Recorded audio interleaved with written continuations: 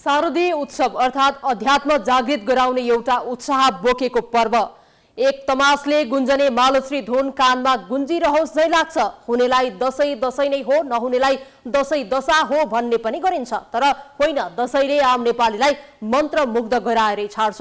अभावमा पनि हाँस्न सिकाउँछ अनि तनावमा पनि बाँच्न सिकाउँछ। लागे लागोस् ऋण दसैँले उत्साह यसै बोकेर आउँछ। आज बडा दसैँ अन्तर्गत टिकाको दोस्रो दिन अर्थात् पापा कुङ्स एकादशी। टिका लगाउने क्रम जारी छ। पूर्णिमासम्म टिका लगाउने चलन छ। धेरै ठाउँमा कति टिका लगाएर काममा फर्किसके। राजधानी छाडेकाहरू फर्कन थालिसके। हतार दसैँले नै बोक्ने गर्छ। जसो तसो दसैँ मनाएर काममा फर्कनेहरूको सहर बजारमा आजैदेखि भिड देखिन थालेको छ। जान हतार फर्कन हतार। बिना काम साँझ बिहानको माम जुटाउन नसक्नेहरूलाई पनि दसैँले आराम त देला तर कामको चटारोले त्यो वर्गलाई कहिल्यै छाड्दैन। तर पनि दसैँ यस पटकको पनि मनाइयो र मनाउने क्रम जारी छ। मालश्रीको मधुर धुन गुन्जन्न छाडेको छैन जसले शारदीय उत्सवलाई उमङ्ग र उत्साहमा लपेटिरहन्छ। आकाशमा चङ्गा देखिन छाडे गाउँघरमा लिङ्गेपिङ हराउन थालिसके। भनिन्छ असार साउनमा हिलोमा खेल्नु असोज कार्तिकमा भुइँ छाड्नु। खेतीपाती र चाडबाडसँग सम्बन्ध र साइनो जोडेका यी भनाइले यो समाजमा रहेको मान्यतालाई उजागर गर्दै आएको छ। दसैँले मालसुरी बिर्सन दिँदैन दसैँले टिका र जमराले छुटाउन दिँदैन परिवार गाँच्ने छुटिएकालाई भेट गराउने र मिठो मसिनो खाने यो पर्वसँग जोडिएका मान्यताहरू आफैमा विशिष्ट छन् आफैमा अनुपम छन् र आफैमा गर्व एवं लोभलाग्दो छ गुनासो रहित दसैँले हरेक वर्ष आम नेपालीलाई एउटा सद्भावमा बेर्छ मन्दिरहरू यतिखेरै सिङ्गारिन्छन् सहर बजार यतिखेरै चलायमान बन्छ। अर्थतन्त्रलाई थोर बहुत ऊर्जा थप्ने हैसियत बोकेको दसैँले ऋण त धेरैको थाप्लोमा थप्ला नै तर पीडाको पाटो भुल्न धेरै ऊर्जा पनि यही दसैँको आशीर्वचनले दिने गर्छ।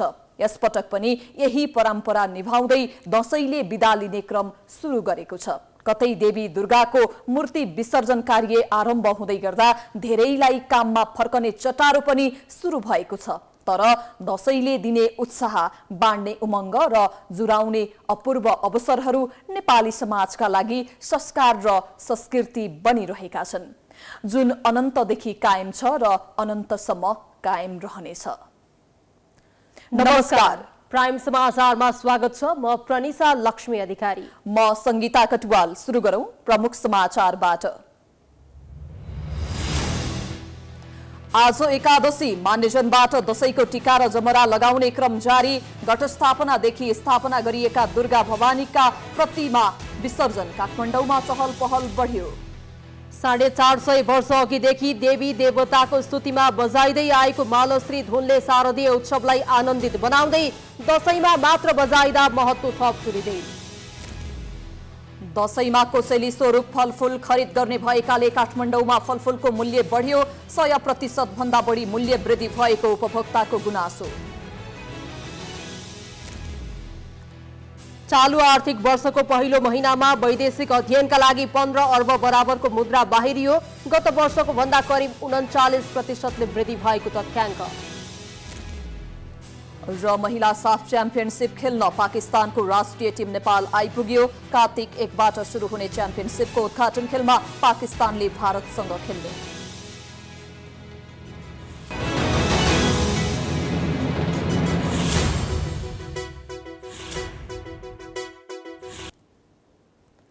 प्राइम समाचार अब विस्तारमा।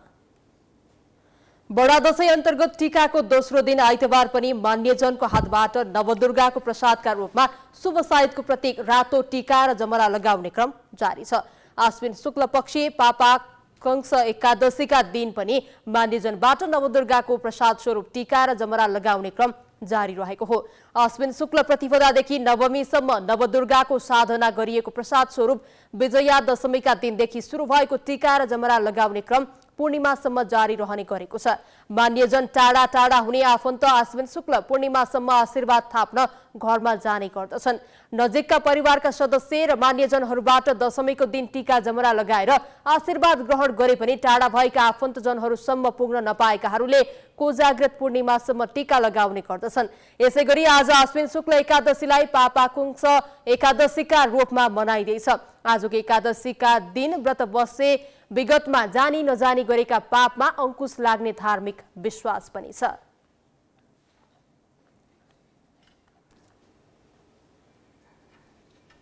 घटस्थापनादेखि स्थापना गरिएका दुर्गा भवानीको मूर्ति अर्थात् प्रतिमा आज विसर्जन गरिएको छ।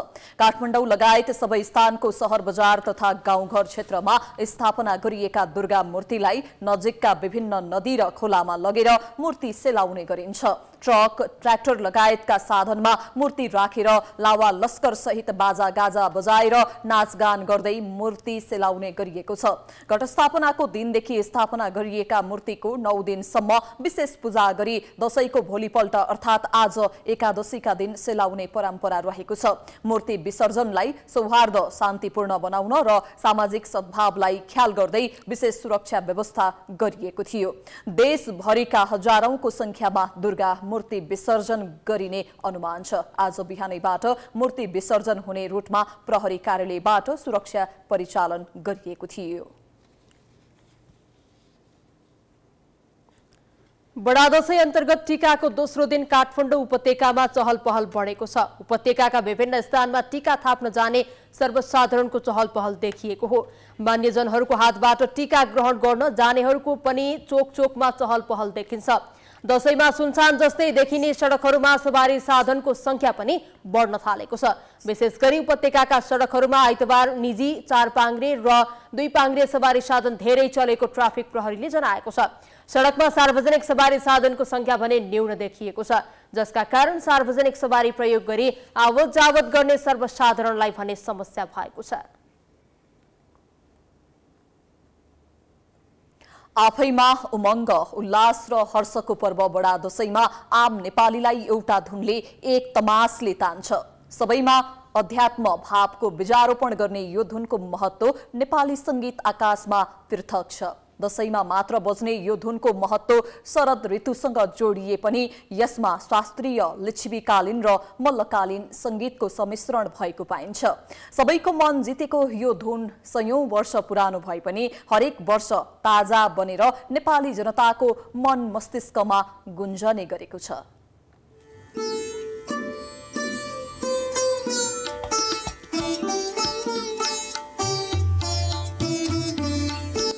सांस्कृतिक र प्राचीन धुन मानिने मालश्री धुन बाह्र मासे धुनमा पर्छ। शरद ऋतुको प्रतीक मानिने यो धुनको सुरुवात नेपालको इतिहासमा स्वर्ण युग मानिने लिच्छिबी कालमा नै भएको मान्यता छ। हुन त भारतमा पनि मानश्री भनेर बजाइने गरेको यो धुनलाई कल्याणी थाट र काफी थाट दुई विधामा विभाजित गरिएको छ। नेपालमा बजाइने धुन भने काफी थाट भएको विज्ञहरूको बुझाइ छ। देवताहरूको स्तुतिका लागि बजाइने यो धुन लिच्छिवी कालदेखि चले पनि मल्लकालमा आएर यो अझ लोकप्रिय बनेर स्थापित भएको मान्यता पनि छ। विभिन्न अभिलेखहरूमा पनि यसको प्रयोग लिच्छिवी कालमा नै भएको उल्लेख गरिएको छ। यद्यपि केही पाटनका राजा सिद्धि नरसिंह मल्लको पालामा यो धुन औपचारिक रूपमा चलनमा आएको प्रामाणिक अभिलेख रहेको पनि जानकारहरू बताउँछन्। उनका केही गीतहरूमा मालश्रीको राग पाइएको पनि यस धुनबारे गरिएको खोजमा उल्लेख गरिएको छ। यस्तै भक्तपुरका राजा जगज्योति मल्लको पालामा लेखिएको सङ्गीत चन्द्र नामको पुस्तकमा पनि यसको उल्लेख छ। सोह्रौँ र सत्रौँ शताब्दीमा परिष्कृत गरिएको यो धुन शाहकालमा आएर राजा रणबहादुर शाहले उपत्यका बाहिर पुर्याएको विश्वास गरिन्छ।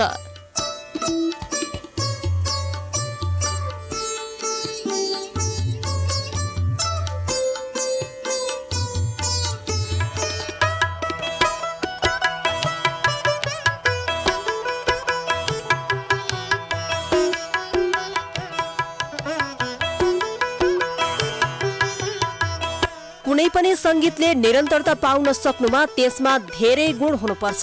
अतः आकर्षण र अकल्पनीय क्षमताले परिपूर्ण हुनुपर्छ। यो सबै गुणले परिपूर्ण यो धुनले साढे चार सय वर्ष अघिदेखि नेपालीको मन मस्तिष्कमा राज गर्दै आएको छ। सङ्गीतकारहरूका अनुसार पाँच श्री रागिनीहरू मध्ये मालश्रीमा प्रयोग हुने रागिनी पहिलो रागिनी हो। कुनै समय महाअष्टमीको एक महिना अगाडिको अष्टमीदेखि नै यो धुन बजाउने चलन थियो। यस्तै गोर्खाबाट फुलपाती भित्राउँदा बसन्तपुर दरबार क्षेत्रमा रहेको नित्यनाथको मन्दिरमा यो धुन बजाउने चलन थियो। जे होस् यो धुन यस्तो धुन बनेको छ जसले आम नेपालीलाई साढे चार सय वर्ष अघिदेखि मन्त्रमुग्ध बनाउँदै आएको छ। लट्ठ पार्दै आएको छ र दसैँको शारदीय उत्सवलाई थप आनन्दित पनि बनाउँदै आएको छ। दसैँको दुई दिन बिहिबार र शुक्रबार त्रिभुवन अन्तर्राष्ट्रिय विमानस्थल भएर कुल त्रिसठी हजार दुई सय बयालिस जनाले हवाई यात्रा गरेका छन्। असो चौबिस गते फुलपाती र पच्चिस गते अष्टमी र महानवमीमा आन्तरिक र अन्तर्राष्ट्रिय दुवै गरी त्रिसठी हजार भन्दा धेरैले हवाई यात्रा गरेका हुन्। असो चौबिस गते आन्तरिकतर्फ एक दुईतर्फी गरेर तिन सय एक उडान मार्फत सत्र हजार तिन सय उन्तिस र असोज पच्चिस गते दुई सय अठहत्तर उडानबाट चौध हजार चार सय छत्तिस गरी कुल एकतिस हजार सात सय पैँसठीले आन्तरिक उडानमा हवाई यात्रा गरेका छन्। त्यस्तै अन्तर्राष्ट्रिय तर्फ असो चौबिस गते दुईतर्फी एक सय सात उडान मार्फत सोह्र हजार पाँच सय नौ र असोज पच्चिस गते पनि एक सय सात उडान हुँदा चौध हजार नौ सय अडसठी गरी कुल एकतिस हजार चार सय सतहत्तर जनाले हवाई यात्रा गरेको विमानस्थल कार्यालयले जनाएको छ। यो उडान र यात्रु संख्या आगमन र प्रस्थान दुवैको हो। त्यसअघि गएको असो चौध गते एकै दिन आन्तरिक र अन्तर्राष्ट्रिय उडान गरी पाँच सय उनासाठी उडान भएका थिए। ती उडान मार्फत पैँतिस हजार सात सय चार जनाले हवाई यात्रा गरेका थिए। दसैँमा टिका थाप्न जाँदा कोसेली स्वरूप उपभोक्ताहरूले फलफूल खरिद गर्ने भएकाले यतिखेर काठमाडौँमा फलफूलको मूल्य बढेको छ। फलफूलका ठूला व्यापारीहरू दसैँ मनाउन तिर लागेका कारण खुलेका पसलहरूमा फलफूलको मूल्य आकाशिएको हो। दसैँभन्दा अघिको तुलनामा यतिखेर फलफूलमा सय प्रतिशत भन्दा बढी मूल्य वृद्धि भएको उपभोक्ताको गुनासो छ। व्यापारीहरू पनि आफूले महँगो दाममा खरिद गरेर ल्याएको बताउँछन्।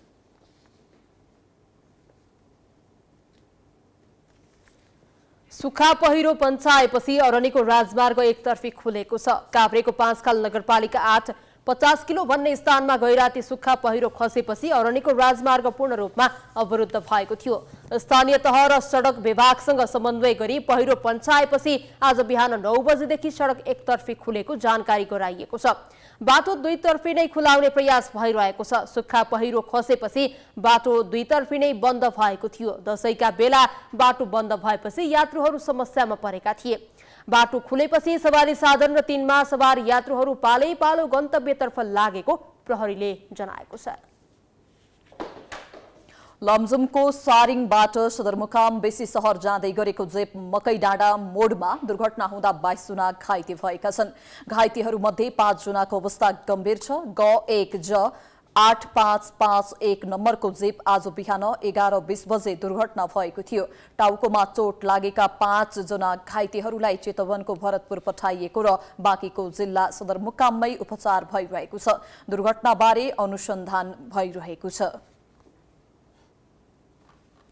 विश्वमा नेपाल सांस्कृतिक तथा पुरातात्विक सम्पदाले सम्पन्न देशका रूपमा चिनिन्छ।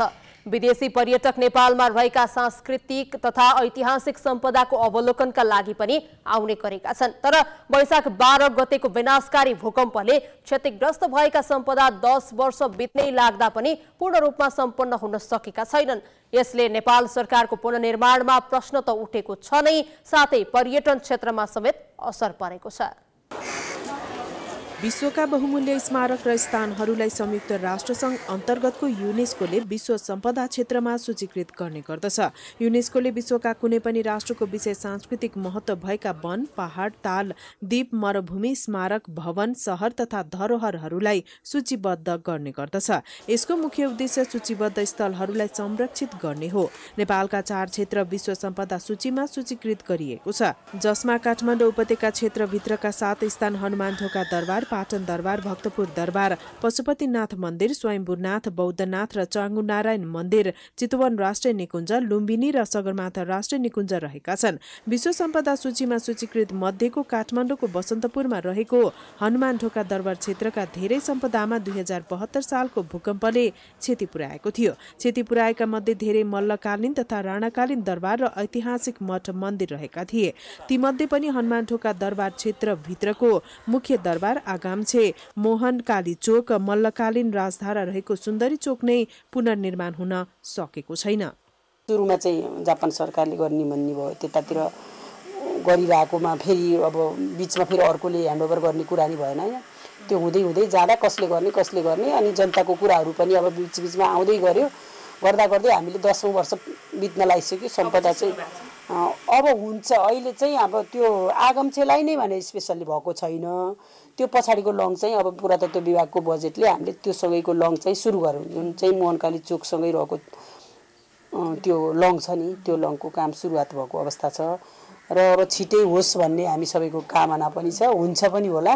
र इन्टिग्रेटमै भएको कारणले अब चाहिँ प्रायोरिटीमै राखेर महानगरले पनि अरू सम्पदाभन्दा यसलाई अलिक छिटो बनाइदियो भने पब्लिकहरूले पनि हामीले जति काम बाहिरभित्र गरेर कम्प्लिट पारे तापनि इन्टिग्रेटमै आउँदाखेरि आगमक्षे नबनिसकेको अवस्थामा चाहिँ हामीले गर्व गर्ने ठाउँ चाहिँ रहँदैन। हामीले बसन्तपुर दरबार क्षेत्रमै पर्ने नव आदर्श माध्यमिक विद्यालय र पुरानो भवन पनि जीर्ण अवस्थामा रहेको छ। दुई हजार बहत्तर सालको विनाशकारी भूकम्प गएको दस वर्ष बित्नै लाग्दा पनि भूकम्पले क्षतिग्रस्त बनेका नौ सय बिस सम्पदा मध्ये हालसम्म आठ सय सम्पदा मात्रै पूर्ण रूपमा पुनर्निर्माण भएका छन्। पुरातत्व विभागका अनुसार अझै पनि एक सय बिस सम्पदाको पुनर्निर्माण कार्य बाँकी रहेको छ। विश्व सम्पदामा सूचीकृत मध्ये भूकम्पले एक सय सत्तरी सम्पदा क्षतिग्रस्त भएका थिए।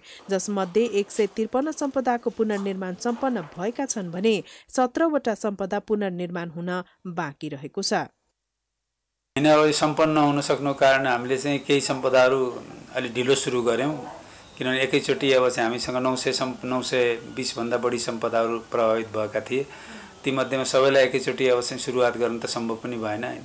त्यस कारण चाहिँ क्रमशः गर्ने क्रममा अलिकति ढिलाइ हुन गएको। फेरि सम्पदा निर्माण गर्ने कार्य अब घरको त हामीले क्यालकुलेसन गरेर दुई वर्षमा सिद्धाउन सक्छौँ भन्ने बनाउन सकिन्छ। सम्पदाको विषय मूल विषय के हुन्छ भने मेटेरियलका समस्याहरू हुन्छन्। मेटेरियलको समस्या आइरहेको हुन्छ काठको समस्या आउँछ इँटाहरूको समस्या आउँछ। त्यसै सुर्की चुनका समस्याहरू पनि बेलामा भने बेला पाइँदैन। ढुवानीका समस्याहरू छन् धेरै कुराहरू। त्यसले गर्दाखेरि अलिकति ढिलो भएको। हामीले निरन्तर रूपमा गर्ने क्रममा छुटेका हुन्। यो चाहिँ यो काम नभएको होइन कि हामीहरूले चाहिँ क्रमशः गर्ने क्रममा अहिले आठ सय त हामीले सिद्धाइसकेका छौँ नौ सय बिस मध्येमा। विभागका अनुसार सम्पदा पुनर्निर्माणका लागि आवश्यक स्रोत साधन र बजेट अभावका कारण पनि पुनर्निर्माणमा ढिलाइ भएको हो। सुरुवाती चरणमा पुरातत्व विभाग स्थानीय निकाय तथा दात्री निकाय मध्ये कसले पुनर्निर्माण गर्ने भन्ने निश्चित नभएका कारण पनि दस वर्ष बित्नै लाग्दा पुनर्निर्माण सम्पन्न गर्न नसकिएको पुरातत्व विभागको दावी छ। सम्पूर्ण रूपमा सम्पदा पुनर्निर्माण सम्पन्न गर्न अझै दुई वर्ष लाग्ने विभागको अनुमान छ। यो ढिला सुस्तीले नेपाल सरकारको पुनर्निर्माण कार्यमाथि त प्रश्न उठेको छ नै पर्यटन प्रवर्धनमा पनि असर परिरहेको छ। विश्वका सडतिस देशका सेनालाई पछि पार्दै यस वर्षको अभ्यास क्याभ्रियन गस्ती दुई हजार चौबिसमा नेपाली सेनाले स्वर्ण पदक प्राप्त गरेको छ। संयुक्त अधिराज्य बेलायतको वेल्स ब्रेकनमा यही असोज तेइस गतिदेखि पच्चिस गतिसम्म भएको उक्त अभ्यासमा नेपाली सेनाको टोलीले स्वर्ण पदक प्राप्त गरेको सैनिक जनसम्पर्क तथा सूचना निर्देशनालयले जनाएको छ। संयुक्त अधिराज्य बेलायत सहित सडतिस राष्ट्रका एक सय एक्काइस अन्तर्राष्ट्रिय टोलीको त्यस अभ्यासमा सहभागिता थियो। सन् उन्नाइस सय साठीबाट वार्षिक रूपमा सञ्चालन हुँदै आएको अन्तर्राष्ट्रिय स्तरको त्यस प्रतियोगितामा नेपाली सेनाले सन् दुई हजार चौधदेखि भाग लिँदै आएको छ। दुई दिनभित्र हतियार सहित करिब पचास पाउन्ड तौल बराबरका बन्दोबस्ती सामग्री सहित पचास किलोमिटर दूरीको अभ्यासमा सहभागी टोलीले गरेको लडाई तयारी खबर सङ्कलन तथा घाइते बिरामीको व्यवस्थापन लगायतका दक्षता परीक्षणका आधारमा मूल्याङ्कन हुने निर्देशनालयले जनाएको छ। नेपाली सेनाले सन् दुई हजार सत्र र दुई हजार उन्नाइसमा समेत त्यस प्रतियोगितामा स्वर्ण पदक प्राप्त गरेको थियो। नेपाल संयुक्त राष्ट्र सङ्घको शान्ति मिसनमा सैनिक पठाउने पहिलो नम्बरमा पर्दछ। विश्वका द्वन्द्वग्रस्त मुलुकमा शान्ति स्थापनार्थमा नेपाली सैनिक सन् उन्नाइस सय अन्ठाउन्नदेखि खटिँदै आएका छन्। शान्ति मिसनको छैसठी वर्ष दौरानमा नेपाललाई अन्तर्राष्ट्रिय स्तरमा पहिचान स्थापना गर्न थप सघाउ पुगेको छ। नेपाल सन् दुई हजार तेइस नोभेम्बर तीस यता संयुक्त राष्ट्रसङ्घको शान्ति मिसनमा सैनिक पठाउने मुलुकमा पहिलो नम्बरमा परेको छ। शान्ति स्थापनार्थ नेपालबाट अहिले पाँच हजार नौ सय अठार सेनाका जवान विभिन्न मुलुकमा खटिएका छन् जसमा छ सय उना अस्सी महिला सहभागी छन्। विश्वका द्वन्द्वग्रस्त मुलुकमा महिला शान्ति सैनिक पठाउने वरियतामा पनि पहिलो नम्बरमा पर्छ। संयुक्त राष्ट्रसङ्घको पिस किपिङ वेबसाइटका अनुसार नेपालबाट सेना प्रहरी र सशस्त्र गरी जुलाई दुई हजार चौबिससम्मको तथ्याङ्कमा छ हजार एक सय उन्नाइस खटिरहेका छन्। नेपाली सेनाका अनुसार पहिलो पटक शान्ति सैनिकको रूपमा सन् उन्नाइस सय अन्ठाउन्नमा सैनिक पर्यवेक्षकको रूपमा पाँचजना खटिएका थिए। छैसठी वर्षको अवधिमा शान्ति सैनिकमा एक लाख त्रिपन्न हजार एक सय आठ सैनिक जसमध्ये दुई हजार सात सय तेइस महिलाले सहभागिता जनाइसकेका छन्। नेपाली सेना मात्रै नभएर समग्र राष्ट्रको लागि नै एउटा खुसीको विषय पनि हो यो। र यसले हाम्रो कतिपय अन्तर्राष्ट्रिय मञ्चहरू फोरमहरूमा नेपालको कुनै उपस्थिति हुँदाखेरि एउटा एउटा गर्व महसुस हुने विषय पनि हो यो। त्यसको साथसाथै यो फौज हाम्रो बढी गएको छ भन्नुको मतलब चाहिँ यसले संयुक्त राष्ट्रसङ्घले पनि नेपाललाई त्यही अनुसारको प्राथमिकतामा राख्ने विभिन्न अन्य फौजहरू माग गर्दाखेरि नेपाललाई पनि प्राथमिकता दिने उसमा पनि राखेको पाइन्छ। र यो यो चाहिँ हामीले कायम गर्न सक्यो भने अझै पनि नेपालको एउटा परराष्ट्र नीतिमा पनि यसले प्रमुख भूमिका खेलेको जस्तो लाग्छ यो फौज पठाउने। विश्वमा शान्ति स्थापनामा नेपालबाट नेपाली सेना प्रहरी र सशस्त्रका सुरक्षाकर्मीहरू Syria Libya Iraq Congo Haiti Lebanon Sudan दक्षिण सुडान इजरायल माली लगायत द्वन्द्वग्रस्त मुलुकहरूमा शान्ति स्थापनाका लागि खटिने गरेका छन्। शान्ति स्थापनाका लागि द्वन्द्वग्रस्त मुलुकहरूमा नेपालको सहभागितालाई अन्तर्राष्ट्रिय स्तरमा पनि पहिचान स्थापना गर्न महत्वपूर्ण भूमिका खेलेको छ। यसको लाभ प्रत्यक्ष र अप्रत्यक्ष रूपमा नेपालले लिन सक्नुपर्नेमा जानकारहरूले जोड दिएका छन्। नेपाल शान्ति सेनामा धेरै सैनिक पठाउनेमा पहिलो वरियतामा नै कायम रहिरहनु सक्नुपर्ने र अब दस हजार सैनिक पठाउने लक्ष्य पूरा गर्नुपर्नेमा आवश्यक तयारी गर्न परराष्ट्रविदको सुझाव छ। हामीले त्यो मेन्टेन गर्नलाई घरमा पनि होमवर्क गरेर तयारी हुनु पर्यो र संयुक्त राष्ट्रसङ्घमा पनि आफ्नो लबी गरेर त्यो पहिलो स्थानलाई जोगाइराख्नु पर्यो त्यो चाहिँ हाम्रो लागि महत्त्वपूर्ण छ। विश्व शान्तिमा नेपालले गर्ने सबभन्दा ठुलो योगदान भनेको त्यही नै हो। तयारी चाहिँ नै हुनुपर्छ। अब अहिले त वास्तवमा एउटा माथिल्लो तहको पोजिसनमा संयुक्त राष्ट्रसङ्घले दरखास्त दिनु भनेर आह्वान पनि गरेको थियो। केही समय अगाडि हामीले तयार नभएको हुनाले दरखास्त दिएनौँ तर पछि एउटा तयारी गरेर हामीले पठाएको छ दरखास्त। अब हाम्रो जर साहब चुनिनुहुन्छ छानिनुहुन्छ छानिनुहुन्न। छुट्टै कुरा हो। विश्व शान्ति स्थापनामा नेपालको गौरवपूर्ण सहभागिताले नेपालको शिर उचो पार्ने स्थिति रहेको त छ नै। सो प्रभावका कारण संयुक्त राष्ट्रसङ्घले नेपालप्रतिको विश्वास र परराष्ट्र नीतिमा गतिलो लाभ लिन सकिनेमा परराष्ट्र मामिलाका विज्ञको तर्क छ। संयुक्त राष्ट्रसङ्घका महासचिव गुटरेस नेपाल आउँदाखेरि उहाँले नेपालले शान्ति सेना पठाएर विश्व शान्तिको लागि गरेको योगदानको निकै ठुलो सराहना गर्नुभएको छ। त्यस कारणले अब त्यो त उहाँहरूले नै महसुस गरिसकेका हुनाले नेपालले शान्ति विश्व शान्तिको लागि गरेको योगदान अवश्य त्यो एक्नोलेज नै भइरहेको कुरा हो। तथापि अझ म भन्छु कि अब यो बखतमा हाम्रो प्रधानमन्त्री केपी शर्मा ओलीज्यूको संयुक्त राष्ट्रसङ्घको महासचिव छ भने भेटघाट बाहिर भेटघाट तय भइसकेको छ।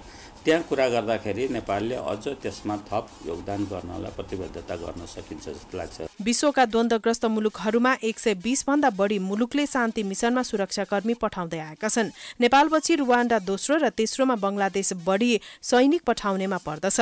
भारत शान्ति सैनिक पठाउने चौथो नम्बरमा परेको छ। नेपाल सन् उन्नाइस सय पचपन्नमा युएनको सदस्य बनेको थियो भने सन् उन्नाइस सय अन्ठाउन्नमा लेबनानमा पाँचजना सैन्य पर्यवेक्षक खटाएर शान्ति स्थापनाको यात्रा थाले थालेको थियो। त्यसपछि इजिप्टमा पहिलो पटक पुरानो गोर्खा बटालियनको टोलीलाई शान्ति सैनिकका रूपमा खटाइएको थियो।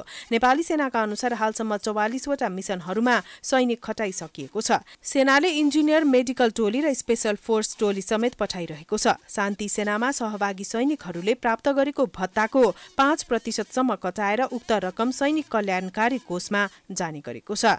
कुनै बेला एक दम्पतिबाट कम्तीमा तीनदेखि चारजना छोराछोरी जन्माउँथे। धेरै सन्तान जन्माउने दम्पतिको संख्या बढ्न थालेको भन्दै दुई सन्तान ईश्वरको वरदान भन्ने नारा चर्चामा आयो।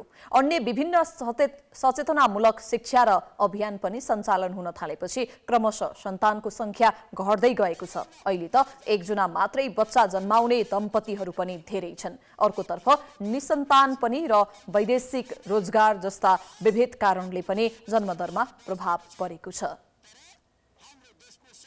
जनसङ्ख्या हरेक देशको सम्पत्ति हो तर नेपालमा देखिएको घट्दो जनसङ्ख्याले अबको केही वर्षमा ठूलो मात्रामा जनसङ्ख्यामा कमी आउन सक्ने भन्दै विज्ञहरूले चिन्ता व्यक्त गर्न थालेका छन्। दुई हजार अठहत्तर सालको जनगणनालाई आधार मान्ने हो भने एक दशक अघि नेपालको जनसङ्ख्या एक दशमलव तीन पाँच प्रतिशतबाट शून्य दशमलव नौ तीन प्रतिशतमा झरेको छ। पछिल्ला वर्षमा यसै गरी एक वा बढीमा दुईजना सन्तानमा चित्त बुझाउने दम्पतिको संख्या बढ्दो छ। दम्पतिबाट एकजना वा दुईजना मात्रै सन्तान जन्माउने प्रचलन बढ्नुले जनसङ्ख्या घटिरहेको छ। त्यसै गरी श्रीमान अथवा श्रीमती वैदेशिक रोजगारीका लागि जाने क्रम बढ्नुले पनि सन्तान उत्पादनमा कमी आएको छ। सबैभन्दा ठूलो समस्या खानपान लगायतका कारणले निसन्तानको समस्या बढ्दै जानु हो जुन चिन्ताको विषय बनेको छ। अब शिक्षाको कारणले गर्दाखेरि हामीहरूलाई चाहिँ हामीहरू चाहिँ आफ्नो विकास वृद्धि वृद्धि विकासको लागि पनि अब बाहिर जानुपर्ने विदेश जानुपर्ने र अर्को चाहिँ पढाइको पढा पढ्ने क्रममै हामीहरूको उमेर धेरै ढल्किँदै जाने जसले गर्दाखेरि बिहे बिहे गर्ने कति कुराहरू चाहिँ हामीले बिहेलाई चाहिँ बरु सेकेन्डरी कुराहरूमा राख्ने बच्चा जन्माउने कुरालाई हामीले सेकेन्डरी कुराहरूमा राख्ने गर्दाखेरि अलिकति निसन्तानको समस्याहरू पनि बढ्दो क्रम चाहिँ छ। त हामीले तेह्रदेखि पन्ध्र पर्सेन्ट चाहिँ निसन्तानको समस्याहरू छ भन्ने गरेको हो। तर यो पर्सेन्टेज चाहिँ हामीहरूले अहिले बढेको अवस्था महसुस गरेका छौँ तर हामीसँग एक्ज्याक्ट नेपालभरिको चाहिँ प्रिभ्यालेन्स कस्तो छ भन्ने भने चाहिँ हामीसँग त्यो प्रिभ्यालेन्स चाहिँ छैन। तर तेह्रदेखि पर्सेन्ट तेह्रदेखि पन्ध्र पर्सेन्ट मात्रै नभइकन यो बिस पच्चिस पर्सेन्ट पुगेको हुन सक्ने सम्भावना छ उदाहरणका लागि थापाथली स्थित परोपकार प्रसुति तथा स्त्रीरोग अस्पतालमा वर्षेनी बच्चा जन्माउने आमाको संख्यामा कमी आउन थालेको छ। अस्पतालमा दुई हजार उना अस्सी अस्सीमा चौबिस हजार छ सय सतहत्तर जनाले सन्तानलाई जन्म दिएका थिए तर दुई हजार अस्सी एकासीमा आएर यो संख्या घटेर बाइस हजार तिन सय उना अस्सीमा झरेको छ। अर्को भनेको चाहिँ निसन्तानै हुने समस्या चाहिँ अलिक बढिरहेछ अहिले त्यही अघि मैले भने नि अब जस्तै कामकाजको कारणले अब श्रीमान बाहिर हुने अनि आफै पनि महिला आफै पनि अहिले त धेरै महिलाहरू चाहिँ वर्किङ छन् होइन? कामकाज गर्छन्। कामकाजी भएको कारणले बच्चा जन्माउनु ढिलो पढाइ लेखाइको कारणले होइन? पुरै सबै पढाइसकेपछि मात्र म अब बच्चा प्लान गर्छु भन्ने अहिले त सबै प्लान गरेर गर्छन् नि त।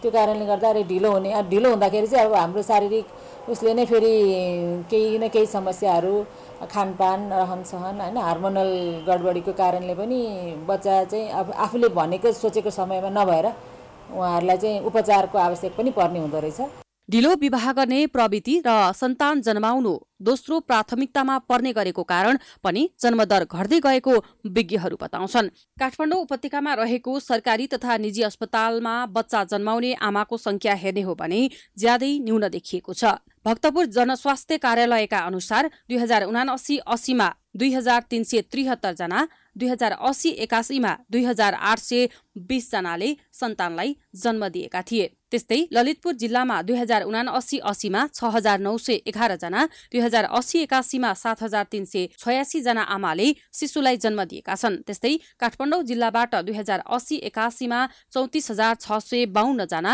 र दुई हजार अस्सी एकासीमा चौतिस हजार छ सय अस्सी जना आमाले शिशुलाई जन्म दिएको तथ्याङ्क छ। गत साउनमा मात्र वैदेशिक अध्ययनमा चौध अर्ब बयानब्बे करोड रुपियाँ बराबरको मुद्रा बाहिरिएको छ गत आर्थिक वर्षको सोही अवधिको तुलनामा वैदेशिक अध्ययनमा बाहिरिने रकम करिब उन्चालिस प्रतिशतले बढेको राष्ट्र ब्याङ्कको तथ्याङ्क छ गत आर्थिक वर्षको पहिलो महिनामा यो शीर्षकमा दस अर्ब चौरात्तर करोड रुपियाँ बाहिरिएको थियो पछिल्ला वर्षमा वैदेशिक अध्ययनका लागि नेपालबाट विद्यार्थीसँगै बाहिरिने विदेशी स्वदेशी मुद्रा निरन्तर बढ्दै गएको राष्ट्र ब्याङ्कको तथ्याङ्कले देखाएको छ। विदेशमा अध्ययनसँगै काम र राम्रो आय आर्जन पनि हुने भएकाले पछिल्ला वर्षमा उच्च शिक्षाका लागि विदेश जाने क्रम बढेको जानकारहरू बताउँछन्। यसको सकारात्मक असर रेमिट्यान्स आप्रवाहमा पनि परेको उनीहरूको भनाइ छ। नेपालमा लामो समयदेखि राजनैतिक अस्थिरता झाँगिँदै गएको आर्थिक विकासका लागि राज्य स्तरबाट प्रभावकारी काम हुन नसकेको रोजगारीका नयाँ अवसर सृजना नभएको लगायत कारण अध्ययनका नाममा नेपालबाट बाहिरिने युवाको सङ्ख्या दिनानुदिन बढेको सरकारी प्रतिवेदनहरूले देखाएका छन्। गत आर्थिक वर्षमा मात्र अध्ययनका लागि मुलुकबाट एक खर्ब पच्चिस अर्ब तेह्र करोड रुपियाँ बाहिरिएको थियो। अघिल्लो आर्थिक वर्षको तुलनामा गत वर्ष यो चौबिस प्रतिशतले बढी हो। सरकारले चालु आर्थिक वर्ष दुई हजार एकासी बयासीमा सोह्र लाख पर्यटक भित्र्याउने लक्ष्य लिएको छ कोरोना महामारीपछि देशको पर्यटन क्षेत्र अहिले पुरानै लयमा फर्किएको भनिए पनि नेपालमा पछिल्लो समयमा भएका हवाई र सड़क दुर्घटनाका कारण पर्यटन क्षेत्रमा असर परेको छ यसले सरकारको लक्ष्य प्राप्तिमा असर पुग्ने देखिन्छ नेपाल पर्यटन बोर्डका अनुसार सन् दुई हजार तेइसमा दस लाख चौध हजार आठ सय बयासी विदेशी पर्यटक नेपाल भित्रिएका थिए। सन् दुई हजार चौबिसको पहिलो आठ महिना अगस्तसम्ममा सात लाख बीस हजार भन्दा धेरै विदेशी पर्यटक नेपाल भ्रमणमा आएका छन्। सरकारले चालु आर्थिक वर्षमा सोह्र लाख विदेशी पर्यटक भित्र्याउने लक्ष्य राखेको छ।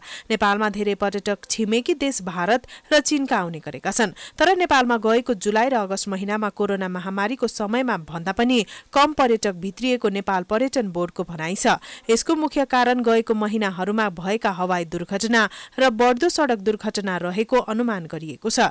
गत महिना भएको सौर्य एयरलाइन्स र चिनिया नागरिक सवार हेलिकप्टर दुर्घटना लगायत भारतीय तीर्थयात्री सवार सवारी दुर्घटनाबाट पनि नराम्रो प्रभाव परेको पर्यटन विभागको तर्क छ। जुलाई र अगस्त महिनामा चाहिँ हाम्रो दुईवटा बस भारतीय पर्यटकहरू बोकेको बस एउटा चितवनबाट आइरहेको र अर्को चाहिँ पोखराबाट आइरहेको बस तपाईँको दुर्घटना भएको छ। त्यसमा चाहिँ भारतीय पर्यटकहरू पर्यटन प्रयोजनलाई आएका हुँदाखेरिमा चाहिँ यसले भारतीय बजारमा चाहिँ सकारात्मक सन्देश प्रवाह गर्न सकेन। जसको कारणले चाहिँ हामीले हेऱ्यो भनेदेखिमा अगस्त महिनामा जबकि यो भारतीय पर्यटक जहिले पनि बढ्दै आइरहेको छ होइन? तर अगस्त महिनामा हेऱ्यो भने चाहिँ तिन प्रतिशत चाहिँ भारतीय पर्यटक आगमनमा कमी भएको छ। त्यो पनि हवाई माध्यमबाट होइन? त्यसै गरिकन अब हाम्रो भले अब भारतीय पर्यटकको चाहिँ बाई रोड आउने हाम्रो चाहिँ तथ्याङ्क राख्ने चलन अहिले छैन। तैपनि तपाईँको चाहिँ अब मुख्य पर्यटकीय क्षेत्रहरू चितवनमा पोखरातिर कुरा गर्दाखेरिमा चाहिँ के हुन्छ भने अलिकति कम भएको छ। होटेलहरूमा अलिकति बुकिङहरू कम भएको छ। पर्यटन क्षेत्रमा पछिल्ला दस वर्षमा पर्यटकको संख्या उल्लेख्य बढे पनि खर्च गर्ने र त्यसै अनुसारको रोजगार प्रदान गर्ने पर्यटक संख्यामा भने कमी आएकाले पर्यटन व्यवसाय नै खासै सन्तोषजनक अवस्थामा नरहेको पर्यटन व्यवसायहरूको गुनासो छ। नेपालमा पर्यटनको प्रचुर सम्भावना रहे पनि सरकारको पुरानो पर्यटन ऐनले पनि असर परेको उनीहरू बताउँछन्। पर्यटन ऐन पर्यटन व्यवसायहरू र पर्यटन व्यवसायहरूको सम्बन्ध सङ्घ संस्थाहरूले दिएको सुझावको आधारमा ल्याउनु पर्यो यो छिटो ल्याउनु पर्यो ढिलो भइरहेछ भन्ने हो। अनि कस्तो खालको पर्यटकहरू ल्याउने कति आम्दानी गर्ने कुन मुलुकबाट कस्तो पर्यटकहरू आउन सक्छन् होइन यी सबै कुराहरूको छिनोफानो चाहिँ पर्यटन ऐनले गर्छ। पर्यटन ऐन भनेको चाहिँ पर्यटनको मुटु हो। त्यतातिर हामीले ध्यान दिन सकेका छैनौँ त्यो छिटोभन्दा छिटो आउनुपर्छ भन्ने हो। तेस्रो चाहिँ बजारीकरण प्रवर्धन। होइन हामीले गर्ने गरेको परिवर्तन चाहिँ के छ भने अलिकति परम्परागत खालको छ क्या आजभन्दा बिस वर्ष अगाडि पन्ध्र वर्ष अगाडि जुन ढङ्गले हामीले चाहिँ परिवर्तन गरेका छौँ अहिले पनि त्यही खालको छ। डिजिटलको युग आएको छ। हामी प्रतिस्पर्धामा छौँ हाम्रो विशाल दुईवटा मुलुक भारत र चाइनामा पनि पर्यटनको सम्भावना छ। होइन यी सबै कुरालाई मध्यनजर गरेर प्रवर्धन गर्नुपर्ने हो। नेपालमा यतिखेर मुख्य पर्यटकीय सिजन सुरु भएको छ। विश्व पर्यटन दिवस हरेक वर्ष सरकारले भव्यताका साथ मनाउने गरे पनि यसको ठोस उपलब्धि भने देखिएको छैन। नेपाललाई विश्वकै उत्कृष्ट गन्तव्यको रूपमा स्थापित गर्न आवश्यक रहेको सरकारमै रहेका मन्त्रीहरूले बारम्बार दोहोर्याउँछन् तर नेपालमा पर्यटन नीति दुई हजार पैँतिसमा कुनै परिमार्जन नहुँदा यसलाई संशोधन गर्नुपर्ने आवाज वर्षौंदेखि उठिरहेको छ। देशलाई सुरक्षित र आकर्षक पर्यटकीय गन्तव्यका रूपमा विकास गर्ने पर्यटन प्रवर्धन र पूर्वाधारको विकास गर्ने हो भने नेपाल पक्कै पनि आकर्षक गन्तव्य त बन्छ नै। यसले आर्थिक पाटो पनि धान्ने देखिन्छ। अब मौसम सम्बन्धी समाचार।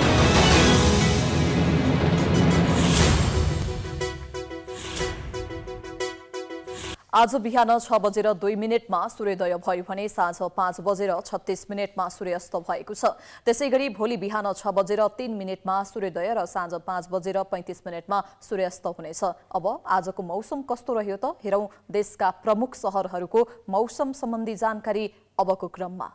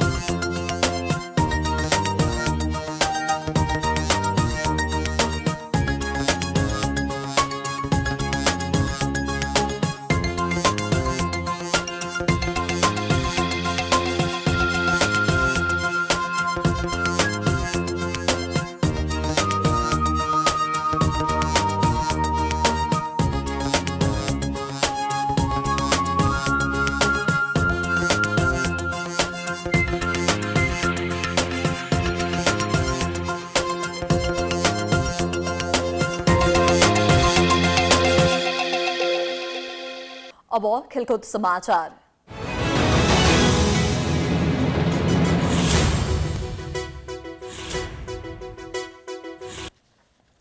महिला साफ च्याम्पियनसिप खेल्न पाकिस्तानको राष्ट्रिय फुटबल टिम आइतबार नेपाल आइपुगेको छ। पाकिस्तान पूर्व निर्धारित तालिका अनुसार बिहान काठमाडौँको त्रिभुवन अन्तर्राष्ट्रिय विमानस्थल आइपुगेको हो। अखिल नेपाल फुटबल संघ एन्फाका सहायक महासचिव अरूण मान जोशी र प्रवक्ता सुरेश शाहले पाकिस्तानका खेलाडी तथा अफिसियललाई स्वागत गरेका थिए। पाकिस्तान प्रतियोगिताको समूह एमा रहेको छ र उसका प्रतिद्वन्दी भारत र बंगलादेश रहेका छन्। बिहिबार हुने उद्घाटन खेलमा पाकिस्तानले पाँच पल्टको च्याम्पियन भारतको सामना गर्नेछ समूह बी आयोजक नेपालसँगै श्रीलङ्का मालदिप्स र भुटान छन् त्यसमध्ये मालदिप्स सोमबार काठमाडौँ आइपुग्नेछ डिफेन्डिङ च्याम्पियन बंगलादेशसँगै भारत र श्रीलङ्का मंगलबार आइपुग्नेछन् भने भुटान बुधबार मात्रै आइपुग्ने कार्यक्रम रहेको छ नेपालले लगातार तेस्रो पटक महिला साफ च्याम्पियनसिपको आयोजना गर्दैछ काठमाडौँको दशरथ रङ्गशालामा आगामी बिहिबारदेखि प्रतियोगिता शुरू हुँदैछ प्रतियोगितामा नेपाल सहित दक्षिण एसियाका सात देश समावेश छन् एन्फाले आसन्न च्याम्पियनसिपको सम्पूर्ण तयारी पूरा भइसकेको यसअघि नै जानकारी गराइसकेको छ। हामी प्राइम समाचारको अन्त्यमा आइपुगेका छौँ। जाँदा जाँदै प्रमुख समाचार पुनः एकपटक। आज एकादशी मान्यजनबाट दशैंको टीका र जमरा लगाउने क्रम जारी। घटस्थापनादेखि स्थापना गरिएका दुर्गा भवानीका प्रतिमा विसर्जन। काठमाडौँमा चहल पहल बढ्यो। साढे चार सय वर्ष अघिदेखि देवी देवताको स्तुतिमा बजाइँदै आएको माल सुरेधुनले शारदीय उत्सवलाई आनन्दित बनाउँदै दशैंमा मात्र बजाइँदा महत्व थप चुलिँदै दशैंमा कोसेली स्वरूप फलफुल खरिद गर्ने भएकाले काठमाडौँमा फलफुलको मूल्य बढ्यो। सय प्रतिशत भन्दा बढी मूल्य वृद्धि भएको उपभोक्ताको गुनासो। चालु आर्थिक वर्षको पहिलो महिनामा वैदेशिक अध्ययनका लागि पन्ध्र अर्ब बराबरको मुद्रा बाहिरियो। गत वर्षको भन्दा करिब उनाचालिस प्रतिशतले वृद्धि भएको तथ्याङ्क र महिला साफ च्याम्पियनसिप खेल्न पाकिस्तानको राष्ट्रिय टिम नेपाल आइपुग्यो। कार्तिक एक गतेबाट सुरु हुने च्याम्पियनसिपको उद्घाटन खेलमा पाकिस्तानले भारतसँग खेल्ने। प्राइम समाचार अहिलेलाई सकियो। यसपछिको प्रस्तुति जनता जान्न चाहन्छन्। ऋषि धमलाको साथमा। हेर्दै गर्नुहोला प्राइम एचडे नमस्कार।